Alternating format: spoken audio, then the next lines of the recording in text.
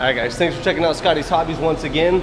Right now I have this 2006, I believe it is, uh, Silverado. Uh, we're gonna do the PCV valve location, the EVAP canister vent location, and the EVAP canister purge location. The vent I get asked about a lot. Um, down there on the bottom by the canister. So let's get you started. The EVAP canister vent sol I mean sorry, purge solenoid is under the intake manifold right here. Sorry, it's under this plastic cover on the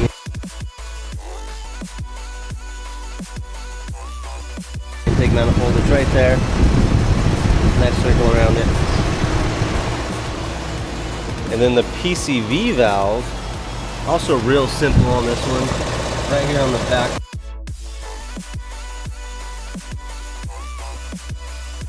motor, driver side valve cover. Super easy. Should we get the O2 sensors? Eh, let's do that too.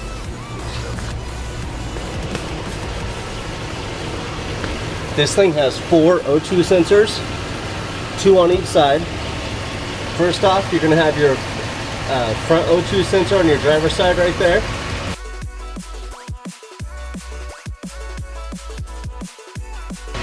Then you have one right here behind the catalytic converter.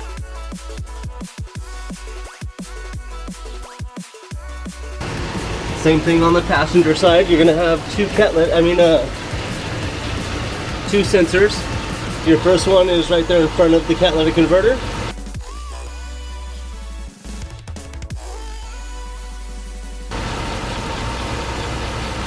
So I believe that's bank two sensor one. Bank 2 sensor 2 is actually right here behind the catalytic converter in the red circle.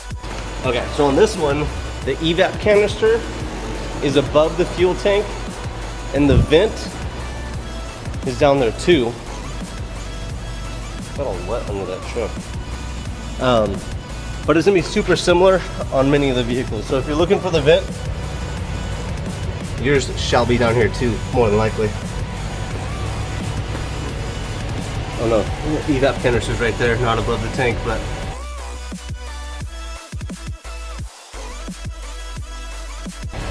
next to it.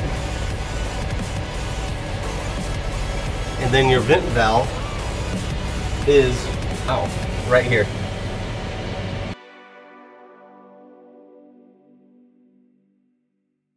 This is the vent.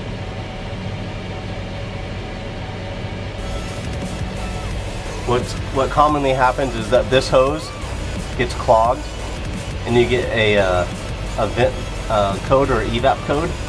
Clean this out first. Disconnect it from your canister to the evap vent. Clean it out. Put it back. Try it.